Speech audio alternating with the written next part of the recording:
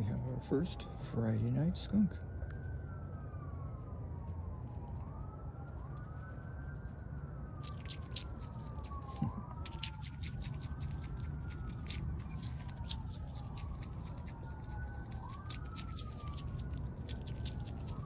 what a cutie.